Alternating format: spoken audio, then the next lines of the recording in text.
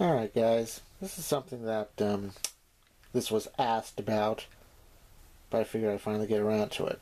Because it's Wednesday and it's a whatever Wednesday video, so yeah, whatever. So yeah. This was a heater that you saw in the background of my previous video with that uh, Suncourt register booster thing. And Tory actually commented on that video about whether or not he wanted to see the um, Patton heater and I figured I might as well. Because I actually bought this the same day at the same Goodwill as that Suncourt Register Booster fan. And like that, I paid four bucks. So, and also, like the Register Booster, it this too was there, and I just decided to pass on it because I really didn't need it. But once again, it's the case of somebody else is looking at it, so no, mine, mine, damn it. So yeah. Am I wrong to think that? Probably not. But yeah. Well, either way, this is in fact a Patton. Heater plus fan by Patton. You got off, fan, low heat, medium heat, high heat. And I think it got yellowed over time, or maybe it was almond, but I don't know if we look at the model number, which is upside down. This is a model number HF50. 120 volts, 60 hertz, 1500 watts, 12.5 amps. That's debatable because I got the meter right there, so yeah. And it doesn't say where it's made, but I have reason to believe it was made in New Haven, Indiana, circa 1990 ish and filters to make this unit a whole room air cleaner available from your dealer or write to Filters, P.O. Box 128, New Haven, Indiana 46774. Quick, somebody write to that address. Get us some filters. but no. I mean, I bought this because it was $4, and it was, and it seems to be a made in the USA, something you don't see anymore. And the blades are a little dusty, so so yeah. Okay, so I think I've rambled on enough, so we'll start off on fan.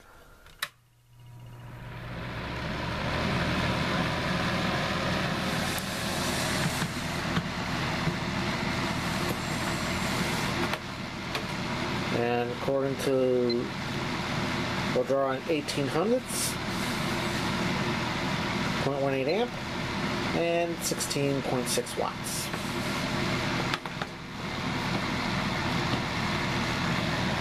It on low heat.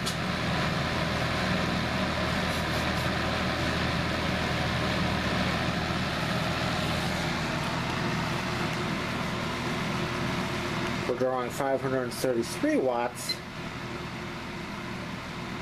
and 4.4 amps.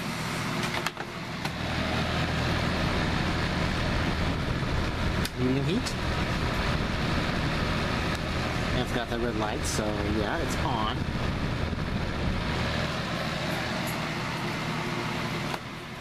And this we're drawing 8.28, 8.3 amps and 972 watts. Here's a fun fact. This thing is going to, I think running this heater on this kilowatt meter will be like the record because I have not ran anything higher than like 200 watts on this.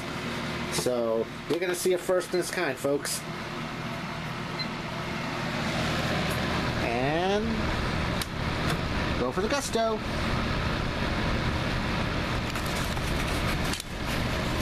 I Don't know if you can see the coils.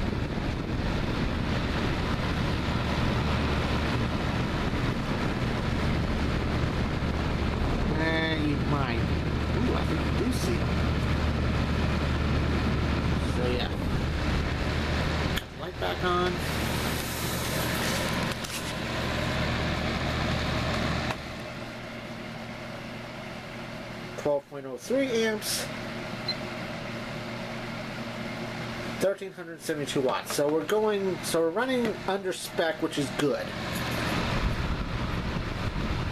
Despite the fact that the input, that the voltage coming to my house is like 125, so.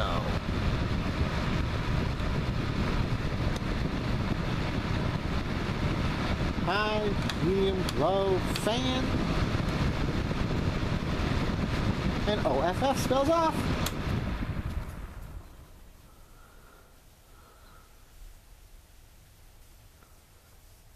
I could probably stand to oil the motor, but probably because those blades are so deeply pitched, and probably I can oil it till I'm blue in the face and it won't matter. So yeah. Let's try a little something. Gonna be trying something. Let's put it to, yeah. Let's get it to watts and straight to high.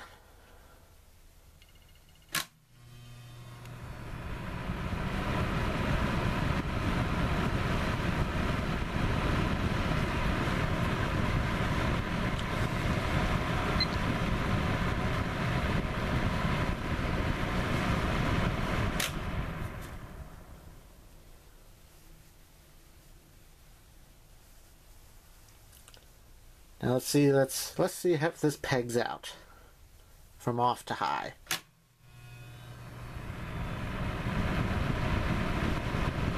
Apparently it doesn't. Because usually my fan motors, when I...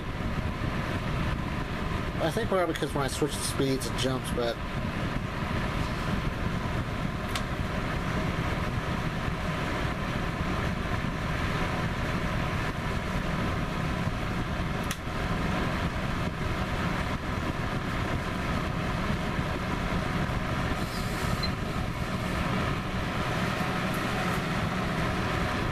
and that's with the fan, so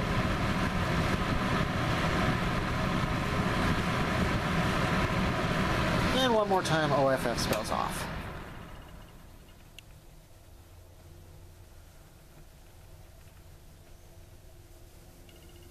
Alright, that's it. I guess that's that.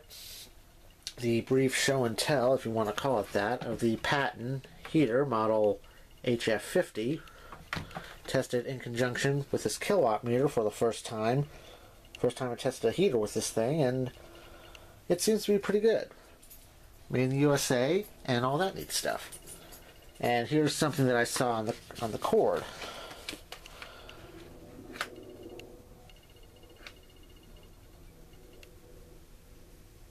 Well, obviously this happened to be after the because I think you can have like a portable heater in the 60s at like 1620 it wouldn't have been any different, but I don't know.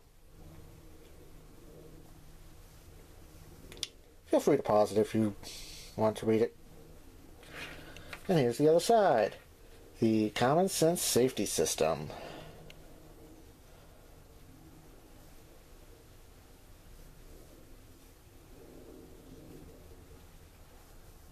So yeah, that's that. So I guess till next time, wherever it is, I'm Eskie, thanks for watching, and the comment box is open.